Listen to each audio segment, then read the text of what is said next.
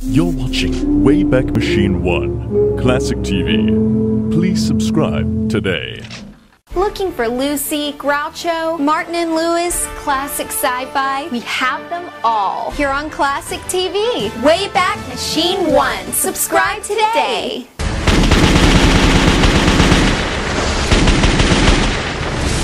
You're watching Wayback Machine 1.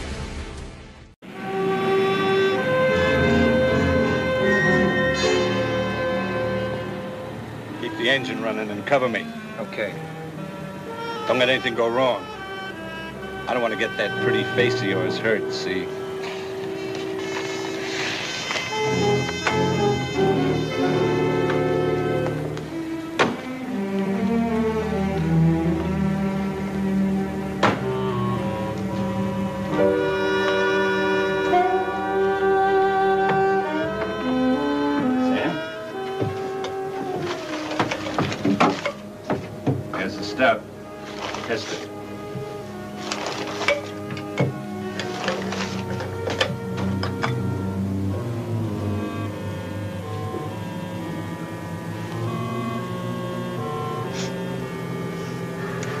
Pure. I told you it wasn't cut. Well, let's not stand around all day, huh? Charlie Lucky agreed 80 grand.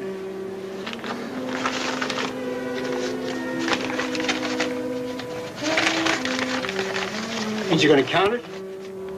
I trust Charlie Lucky. Uh, Jurgie, just a minute. I don't trust you. Stick around. Hurry up, Sam.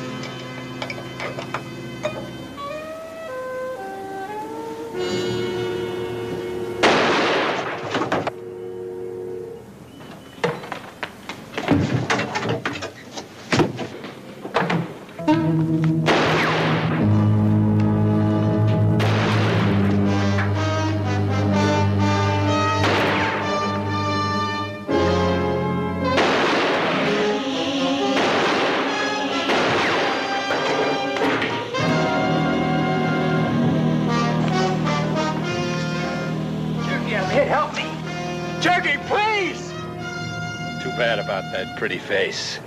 I've been wanting to do this for a long time.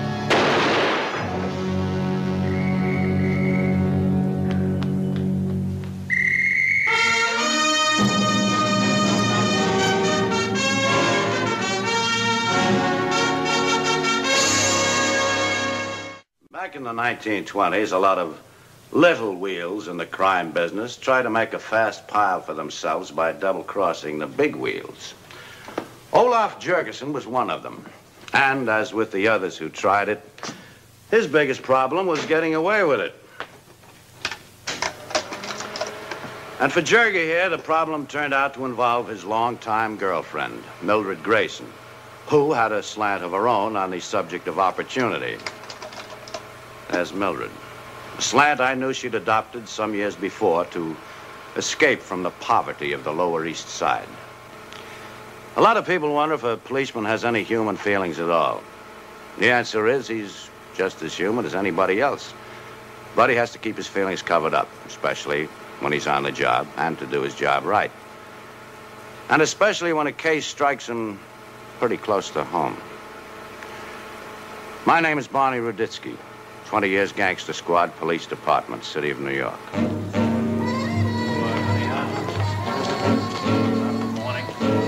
Yeah, okay.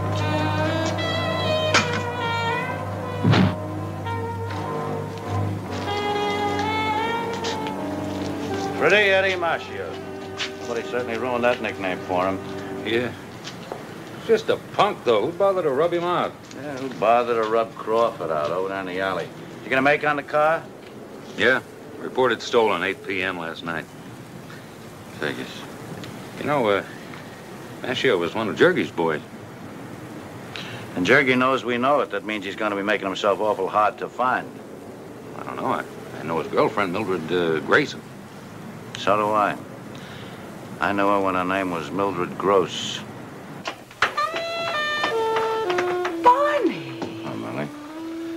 Been a long time. Yes. Yes, it has. Come on in. Thank you. Oh, well, this is a surprise. But I don't guess you came here to talk about old times. No. I want Jurgie. Oh, you've come to the wrong place, Barney. I haven't seen him for two or three weeks. We broke up. Why, what's he done? Fronda has got himself killed. Pretty Eddie Machio. Eddie? Mm-hmm. Surprised? I guess not. He was in a lousy business. Who did it? That's what I was going to ask you. Jurgie never discussed his deals with me when we were together. He sure wouldn't after we broke up. When did he walk out?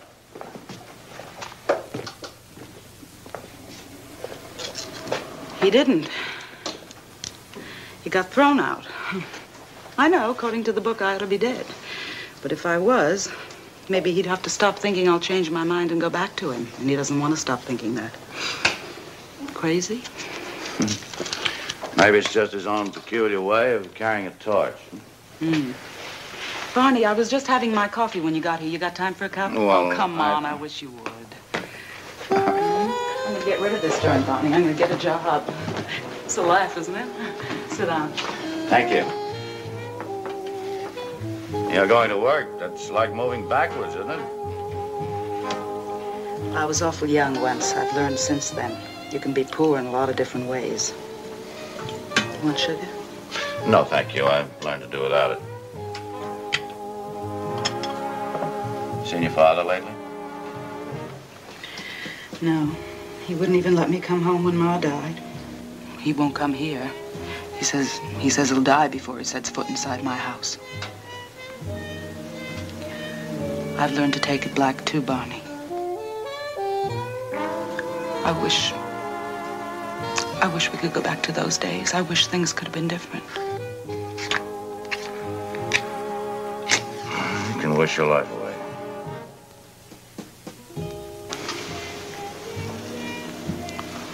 I've missed you, Barney. You have a long memory. That's below the belt. I guess I deserve it. Sorry. I Had a rough morning. Good coffee. You always made good coffee. You any idea where Jurgie might be hanging out? I don't know. Thanks. How did Eddie get it? Side of the head. Somebody put one into his back, too. Different bullets, though. What does that mean? When he got hit, whoever was on the job with him finished it off. Why would anyone on a job with him do that? Would Jurgie leave a wounded man to talk? No. Barney, I'd like to help you try to find him. Why? I told you I want to go straight. Maybe that's one way of proving I mean it. Maybe I feel sorry for Eddie. Only one thing, Barney. Don't put a tail on me. Why? Where are you planning to go? Well, first I want to try to square myself with my old man. Then I'll find Jurgie for you to prove I'm on the level.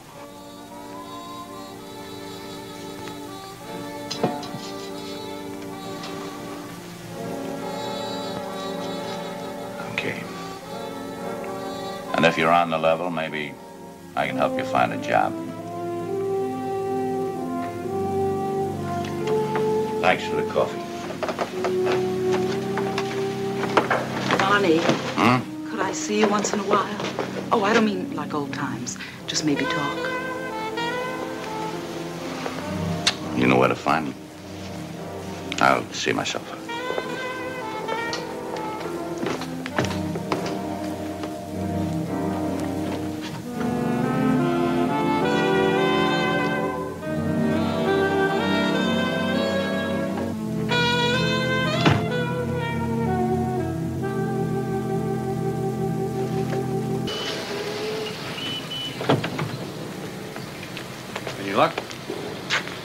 Says she broke with Jurgie. She hasn't seen him, but she'll help us find him. Says she wants to go straight. Millie? Oh, come on now, Max. It's possible. You have to give people the benefit of the doubt. Look, uh, Stake out the place, will you? Put a tail on her. I want to do some looking on my own.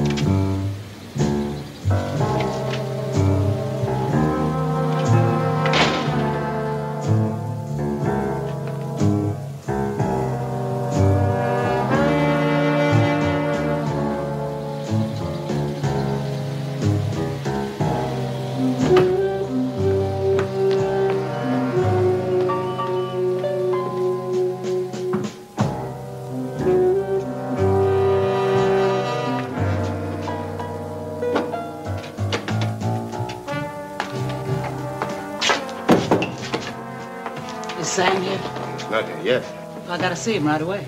I'll leave a message. Got a piece of paper?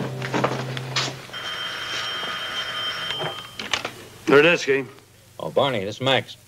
I trailed Millie to 247 Canal Street. She went inside for about 15 minutes, then she came out and went straight home. Uh-huh. Well, so far that's legitimate, right down the line. That Canal Street address is her old man's place.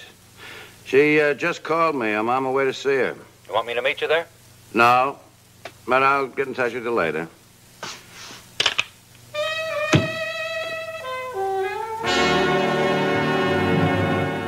Any sign of Jurgie? No. But I'll keep trying. So will I. You better catch up to him before Charlie Lucky does. Barney, uh, Barney, I'll find Jurgie, but look, I don't blame you for being leery about trusting me the way I turned out to be. But where I've got to go to put a finger on Jurgie, you could get me killed keeping a tail on me. Huh? I spotted him right off, and if he got spotted where I'm going, I could wind up in the river fast. Barney, I'm risking my neck either way. To prove to both of us, you and myself, that I'm on the level about making the big right turn, so give me all the break you can. Call off your boy. Hmm?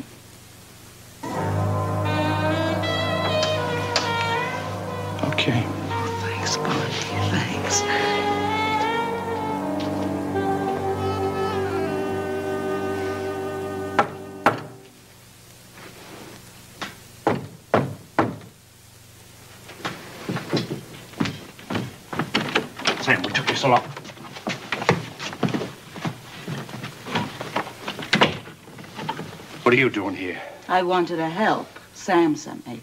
Sam. Yeah, he's scared. The cops got half the town looking for you. Charlie Lucky's got the other half. Sam thinks the best bet is to let me move the stuff to someplace safe. How come you're doing me favors? Why do you think how come? You think I stopped feeling like I do just because you walked out? You heard they got Eddie, huh? Mm-hmm. Tough. Hmm. I figured you'd feel worse the way you was panting after that punk. Is that why you killed him?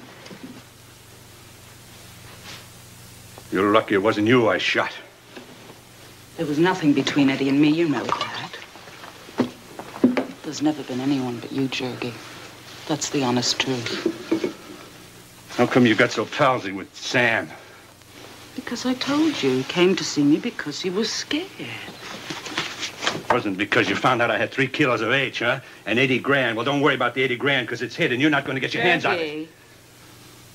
All I want is a share of you. That's all I want.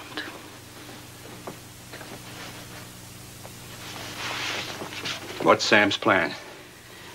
Well, Sam's hot and you're on fire. Nobody's interested in me because they know you walked out. So I move the stuff to the place in New Jersey. Sam sets up the contacts without coming near you, and I'll be the go-between. I want to spend as much time as I can with you, Jurgie. You don't know how lonely it gets.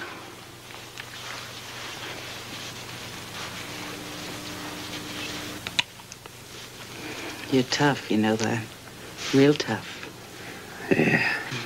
Let me, uh, move the stuff to Jersey and get everything safe. Then I'll come back. Uh, it'll take me maybe a couple of hours. Okay? Okay.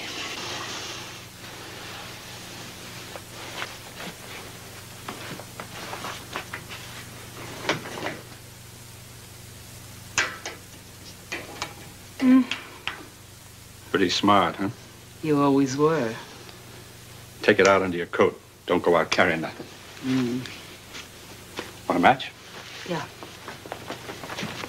Oh, don't bother. I've got it right here.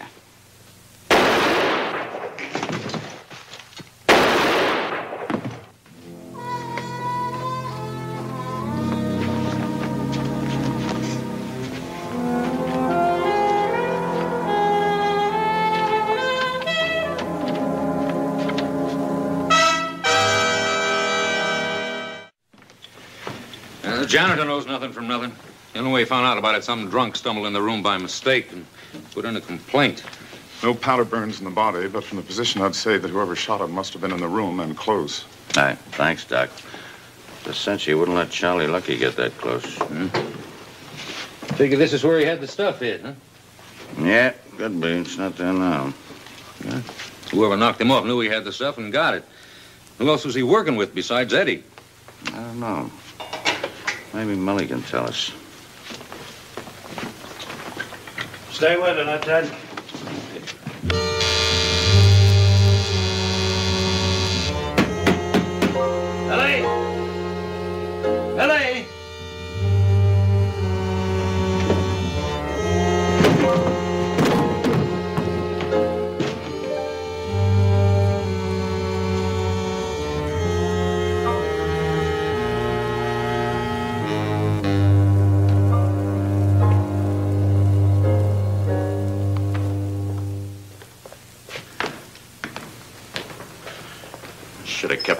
Kept out on her.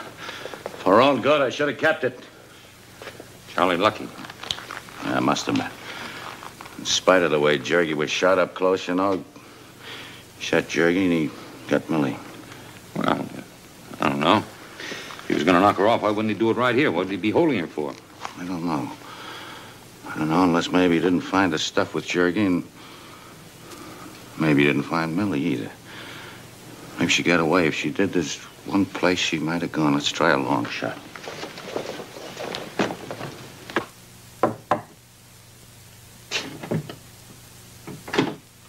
Hello, Mr. Gross. It's Barney. Barney? Barney Ruditsky. Oh, ah, Barney! no, don't stand in the hall. Come on in. Barney Ruditsky, a real pleasure. You look just the same. Life's been good to you, huh, Barney? Very good. How's it with you?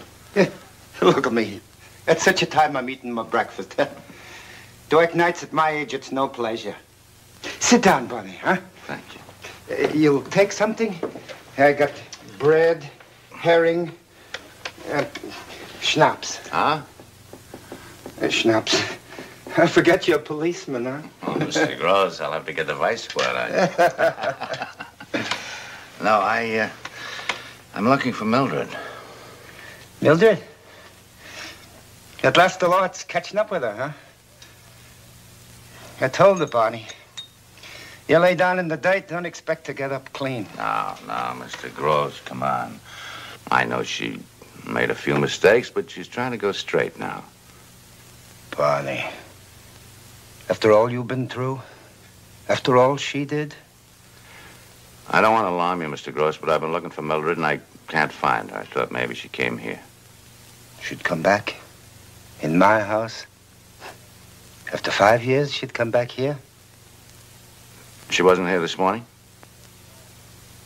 When she left my house, she made her choice. Back she won't come. Oh. I, uh, I'm sorry, Mr. Gross. I, I gotta run.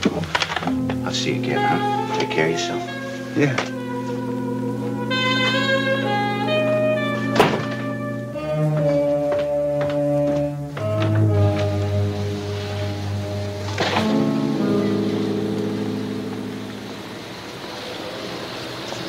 I don't know why she came here this morning, but it wasn't to see her old man. You sure you were waiting out here all the time?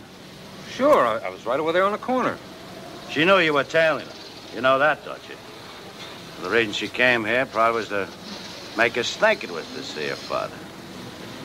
She stood inside the doorway there just for 15 minutes just to make it look good. Unless maybe she knew somebody else in the building, you know, wanted to see him and... Wait a minute. You know those joints out back there across the alley? Bobby Stillman's. It's a hangout for the Charlie Lucky gang. Yeah. Let's go. I think we can make it through the back door. Mildred Grayson? No. Never heard no one with that name. On the house. I'll give you two seconds to refresh your memory, or I'll close up this rat trap tighter than a clam. What are you talking, Mr. Ruditsky? You're not Vice Squad. I'm a cop. And I promise you I'll bury you so deep under that jail they'll have to mine to get you out. Now talk!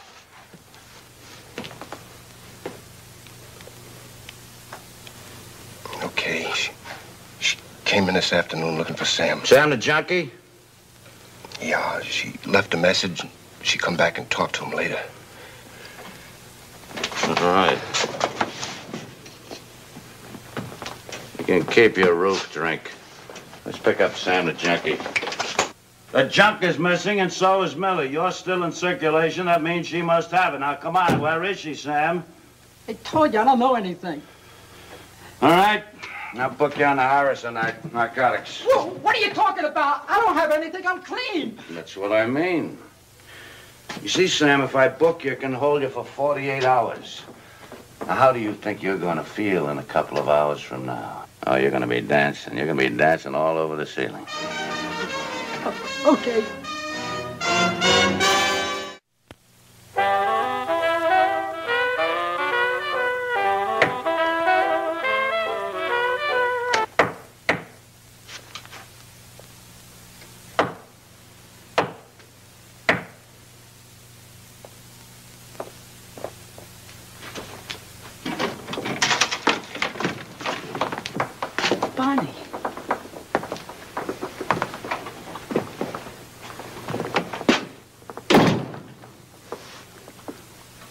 Where's the junk, Millie?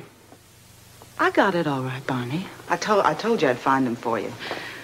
You didn't tell me you were going to kill him. I wasn't going to, Barney. But he grabbed me, and he tried to make love to me. I don't know how I let him so much as ever touch me before. I couldn't stand it, Barney. But I knew I didn't stand a chance unless I... You know what flashed through my mind? You and me standing on the bridge that night, a long time ago. Remember? The first night you kissed me. I thought about how wonderful it was, and about how clean I was then. And then I felt him pulling at me and crushing me to him. And all of a sudden, I had a crazy strength enough to break away. I grabbed the gun and I shot him. I had to, Barney. I had to. And I fell for your act. Me, a cop. It wasn't an act, and it wasn't an act way back then, the way I felt about you, I mean. No? How did you get along with your father this morning? Oh, everything worked out all right. Oh, all right. I went there to, to throw the guy off my tail. But I might have known you'd check with my old man. And you might have known that I knew Bobby Stillman's joint was out back across the alley. All right, come on, the stuff. Where is it? Before I tell you, listen to why I took it, Barney, and believe me. I know. You were going to sell it for enough money so we could get a new life together someplace, huh? Oh, sure, I thought of that, but I threw it out. I knew what you'd say to it, even forgetting I was part of the deal. Thanks. I took the stuff for me, Barney. My only chance for a fresh start was to, cl- to clear out of the country. The stuff was going to buy it for me. Sorry. The stuff, Millie. Where? Hmm. Hmm? In the top drawer. Well, let me get a match. Oh, never mind. I got one here.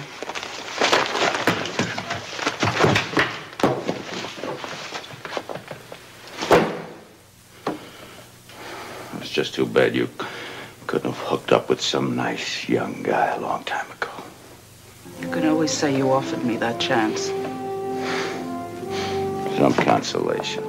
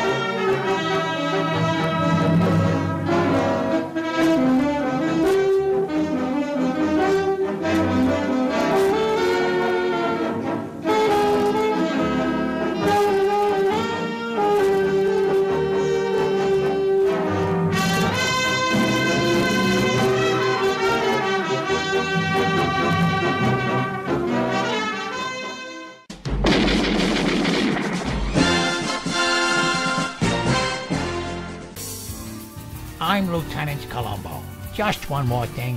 Subscribe now for classic TV shows right here on Wayback Machine 1. Thank you very much.